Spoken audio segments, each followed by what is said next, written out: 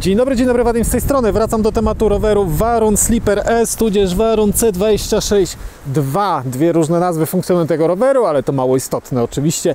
E, Wracam do tematu odblokowania roweru oraz założenia do niego manetki. Te dwie rzeczy zostały nam jeszcze do omówienia oczywiście, a na samym początku tylko przypomnę, że materiał oznaczyłem w prawym czy lewym rogu jako sponsorowany, ponieważ ten rower otrzymałem od firmy Warun na testy długotrwałe i nie muszę tego roweru po wykonaniu recenzji zwracać. W związku z tym, aby być uczciwym, oznaczam materiał jako sponsorowany. Natomiast chciałbym, żeby było jasne, że firma Warun nie ma żadnego wpływu na to, co mówię, co myślę i co Wam o tym rowerze opowiadam. I druga kwestia formalna. Pod filmem znajdziecie taką plakietkę subskrybuj. Jeżeli na nią klikniecie, będę zobowiązany. Z góry dziękuję. A teraz do konkretów. Zakładamy manetkę i odblokowujemy.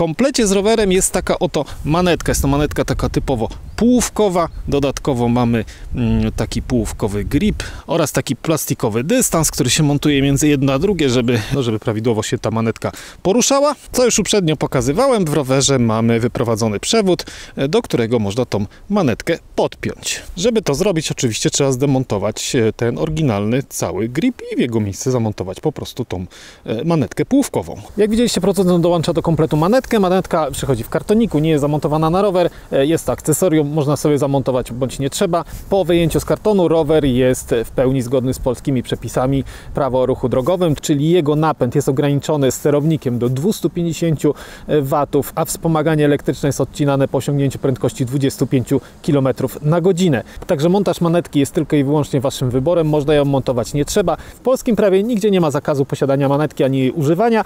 E, Jest wymóg, żeby rower uruchamiał się poprzez nacisk na pedały. Tak to jest w tym rowerze realizowane. Naciskając na pedały, czyli po prostu pedałując poprzez czujnik pas, uruchamia się silnik, wspomaganie elektryczne. Także rower spełnia te wymogi. Nigdzie w żadnym przepisie nie jest napisane, że nie można tego również robić za pomocą manetki. Dopóki nacisk na pedały wprowadza silnik w ruch, czyli pedały są a kręcenie nimi e, powoduje uruchomienie silnika, wszystko jest zgodne z polskimi przepisami. Nigdzie nie jest napisane, że dodatkowo nie może być manetki, przełącznika, guziczka, czegokolwiek, e, korby, czego tam sobie wymyślicie, co będzie wprowadzało także silnik w ruch, czy podtrzymywało jego prędkość. Dopóki moc nie przekracza 250 W i dopóki napęd jest odcinany po osiągnięciu prędkości 25 km na godzinę, wszystko jest zgodne z polskimi przepisami. Montujemy. Żeby ją zamontować, oczywiście trzeba sobie poradzić e, z tym gripem i trzeba go po prostu zdjąć. Jest cholernie zimno dzisiaj, e, więc guma jest sztywna i nie jest to łatwe, ale myślę, że jakoś sobie z tym poradzę. O, zabawy trochę jest z tym. Pewnie najlepiej byłoby to polać gorącą wodą, żeby trochę gumę zmiękczyć, ale jakoś sobie z tym poradzimy. Spróbujemy trochę psiknąć czegoś tłustego. E, coś kupiłem w Kaflandzie kiedyś. Ala WD-40. Już prawie. E, mamy plus 2 stopnie. Niestety guma jest twarda jak cholera, ale już słazi. O, w końcu się udało. Także to zdejmujemy i na to miejsce zakładamy manetkę. Manetkę Oczywiście trzeba sobie ustawić wedle własnego uznania. Ja sobie tak ustawiam, żeby po prostu ten e, przewód, nie wiem czy tu będzie dobrze widać, ale, ale ta, ta dolna część z przewodem, żeby była patrzała, że tak powiem, w dół. Mi tak jest najwygodniej, ale to oczywiście jak kto lubi. Następnie dajemy tą przekładkę, o której mówiłem. Następnie e, tą półówkową manetkę. Ona też oczywiście leżała e, na zimnym, więc ją trochę potraktuję naszym Ala WD-40 powinna lepiej wejść. No jednak zdecydowanie wolę takie rzeczy robić latem. Ale rower jest urządzeniem całorocznym. Ja używam roweru przez calutki rok, więc jakby pogoda jest tylko naszej głowie. Teraz tą manetkę trzeba sobie przykręcić. Tutaj mamy e, śrubkę na imbusa. Tym imbusem po prostu ją zamocować na stałe. Wszystkie klucze są w komplecie z rowerem. Oczywiście trzeba wziąć odpowiedni. Na przykład taki. Z umiarem, z wyczuciem, co by nie pozrywać gwintów, to nie ma tu jakichś gigantycznych sił, więc nie ma też co przesadzać z dokręcaniem tego. No, ale oczywiście, żeby się po prostu nie przemieszczało. O, Będzie dobrze, manetka obraca się swobodnie. Tak, jest git i pozostało tylko złączyć kabelki. Nie da się ich podłączyć odwrotnie, natomiast oczywiście jak ktoś na siłę bardzo będzie chciał, to pewnie to zrobi. Jest tutaj w, we wtyczce taki wypust w gnieździe. Jest miejsce na ten wypust, po prostu trzeba to jedno z drugim zgrać. Zresztą, o, są nawet strzałeczki, pewnie nie będzie tego widać, ale są strzałeczki, w którym miejscu to trzeba zmontować, po prostu jedno w drugie spiąć i podłączone. Robię to pierwszy raz, więc nie mam pojęcia, czy manetka jest od razu aktywna po podłączeniu, więc teraz to sprawdzimy na żywo. Włączam rower, pierwszy stopień wspomagania i sprawdzamy. Tak, manetka jest aktywna i z tego co widzę rozpędza rower tak samo jak rozpędza czujnik pas, czyli nie jest ona tutaj zablokowana do 6 km na godzinę, jak na przykład w przypadku rowerów Engwe ale o 25 km na godzinę. Maksymalna dozwolona prędkość wspomagania e, jest tutaj zachowana, także od razu po zamontowaniu tej manetki jest ona aktywna, nie trzeba tutaj e, kombinować z jej uaktywnianiem. I rower e, odcina prędkość przy 25 na godzinę, więc tak jak mówię, według mojej opinii, aczkolwiek jeszcze raz podkreślam, nie jestem prawnikiem ani żadną wykładnią prawa, w polskim prawie nie ma nigdzie wspomniane o tym, że nie można poruszać się za pomocą manetki. Jest napisane że rower musi się uruchamiać za pomocą nacisku na pedały i tutaj ten napęd się uruchamia za pomocą nacisku na pedały. Natomiast nigdzie nie jest napisane, że dodatkowo nie może się uruchamiać za pomocą manetki. Dopóki jest spełnione to, to jest całkowicie legalne. Natomiast mówię, y, każdy robi jak uważa, y, każdy ponosi odpowiedzialność za swoje czyny. Ja robię tak, a wy zrobicie jak będziecie uważać. Dobra, odblokujemy ten rower. Według instrukcji, żeby odblokować ten rower, trzeba rower włączyć, następnie ustawić na maksymalny stopień wspomagania i wcisnąć przez 3 sekundy jednocześnie włącznik, czyli środkowy przycisk oraz przycisk minus. Ekran mignie przez chwileczkę. Nie wiem, czy będzie to dobrze widoczne, ale spróbujemy.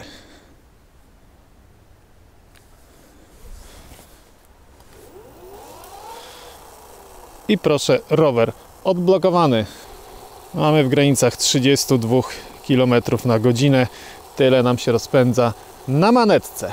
Także czynność banalnie prosta e, i rower jest odblokowany. Jak widzieliście, szalonych prędkości to na pewno nie da się osiągnąć, ale zaraz zabierzemy rower na e, przejażdżkę i zobaczymy, jakie prędkości można tak naprawdę osiągnąć. 32 km na godzinę nam tu pokazało bez żadnego obciążenia, więc przypuszczam, że tam do 30 km maksymalnie dojdziemy, także też e, szału tutaj nie ma i ten rower na pewno nie jest rowerem do bardzo szybkiego przemieszczania się.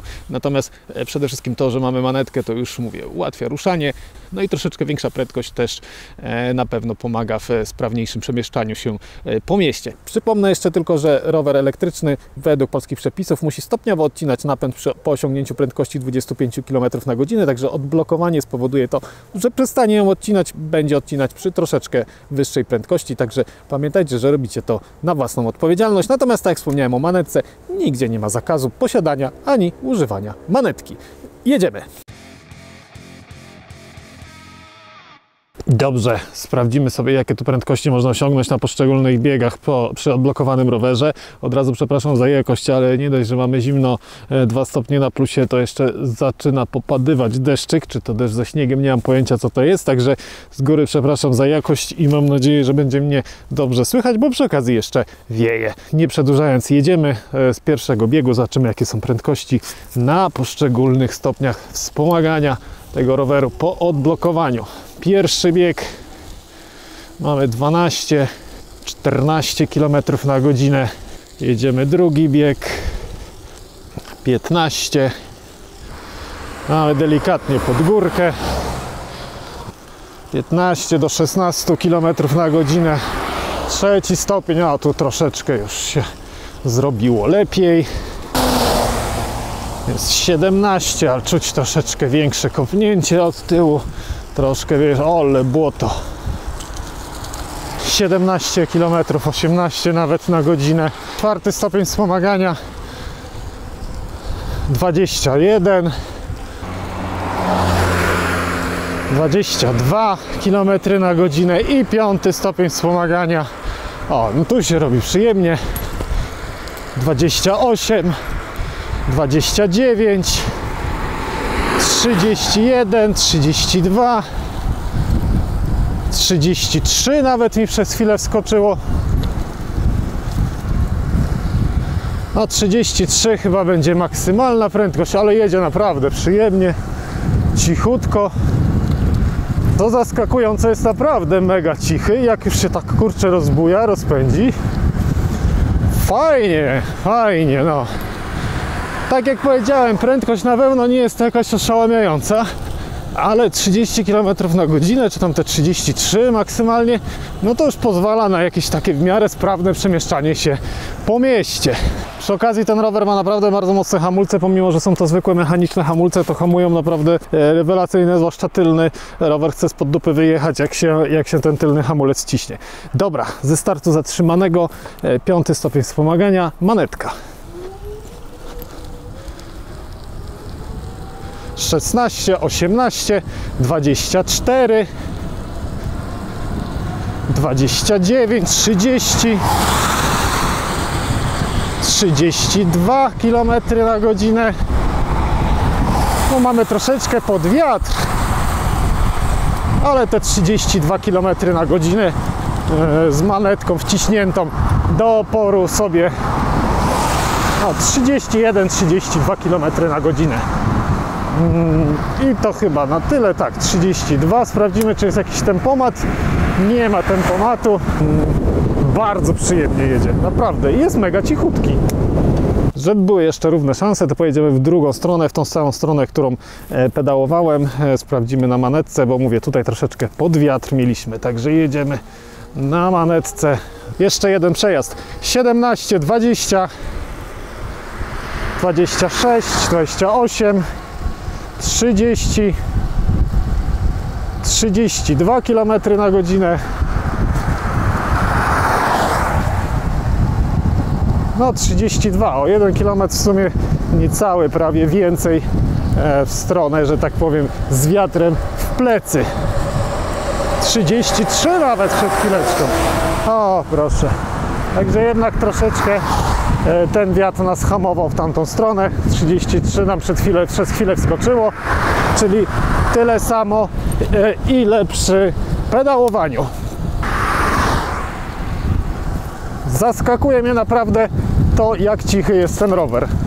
Spodziewałem się, że po odblokowaniu, kiedy, kiedy tam moc będzie dostarczana do silnika troszeczkę większa, e, że będzie głośniejszy, ale on jest naprawdę cały czas bardzo cichy.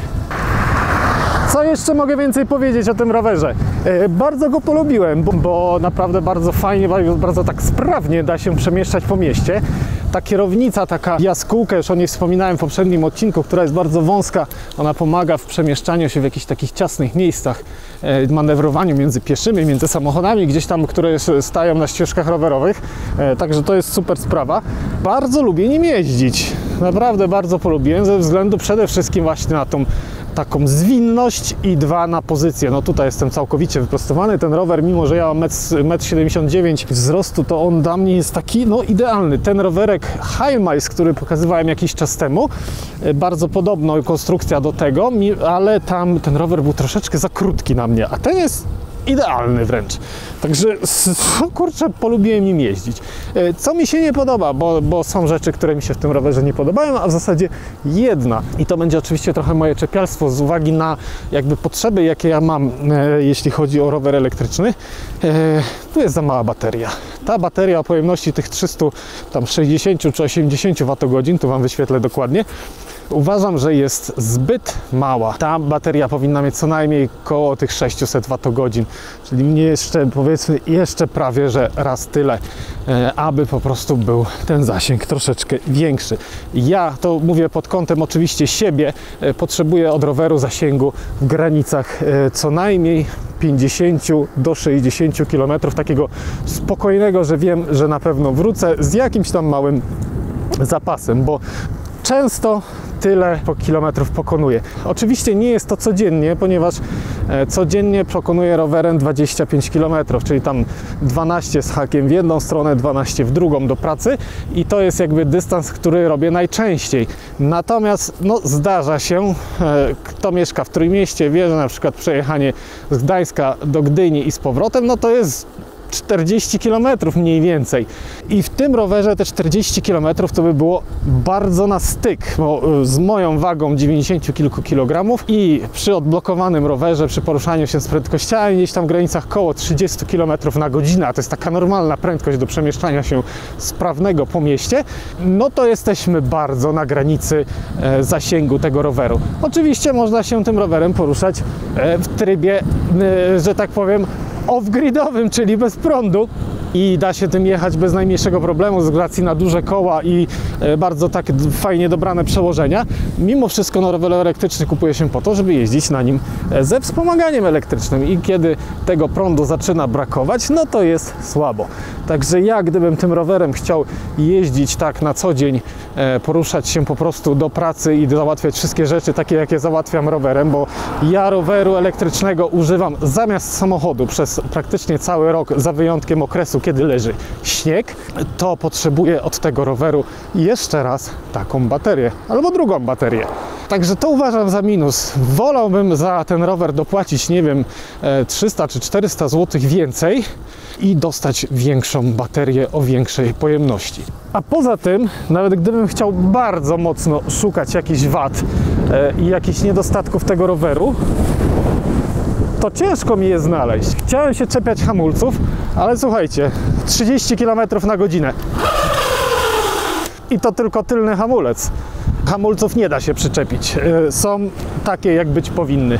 Także mówię całkowicie szczerze, nie mam zastrzeżeń więcej do tego roweru oprócz pojemności baterii. Jeżeli ktoś nie potrzebuje zasięgu rzędu 50-60 km, używa tego roweru jako rower typowo miejski na dojazdy do pracy czy do szkoły, no to te odległości z reguły statystycznie mieszczą się pewnie w granicach gdzieś 10 do 15 km w jedną stronę. I ta pojemność baterii w zupełności wystarcza na pokonywanie tego typu odcinków. Starczy na więcej. Oczywiście, jeżeli nie, nie używa się tego wspomagania e, aż tak dużo, jeżeli będzie teren bardziej płaski niż jest e, na przykład Trójmiasto, które jest, ma strasznie dużo gór, to wtedy ta, ten zasięg także się zwiększy. Jeżeli ktoś będzie lżejszy niż ja jestem, także mu ten zasięg się zwiększy. Jeżeli nie będzie odblokowywał roweru i będzie jeździł wolniej e, do tych 25 na km na godzinę, no to według producenta powinien przejechać w granicach 50 do 60 km. I jest to realne. Dla mnie realna, realny zasięg jest to w granicach czterech dyszek. Tak to zmierzyłem według mojego doświadczenia. Taki jest e, zasięg z moją wagą i z moim stylem jazdy. I to będzie chyba wszystko, co chciałem e, dzisiaj poruszyć w odcinku o rowerze Warun Slipper S. Bardzo fajny rower, mogę go naprawdę szczerze polecić. Zobaczyliście jak go odblokować, jak zamontować sobie manetkę i jak to jeździ po odblokowaniu. Pod filmem w opisie zostawiam jak zwykle link do tego roweru. E, Nie ma niestety żadnego kodu zniżkowego, nie, firma Warun nie przekazała mi żadnego kodu, także rower jest do kupienia w cenie około 3000 zł z ich strony internetowej. Rower wysyłany jest z europejskiego magazynu. Czas dostawy to jest około 5 do 7 dni roboczych, chociaż do mnie przyszedł w 3 dni od nadania. Przyszedł kurierem impostu. Może kogoś interesuje, czym przychodzi, to do mnie przyszedł impostem. Jak zwykle oczywiście zachęcam do komentowania, wyrażenia swojej opinii. E, A w dzisiejszym odcinku to będzie wszystko. Do następnego.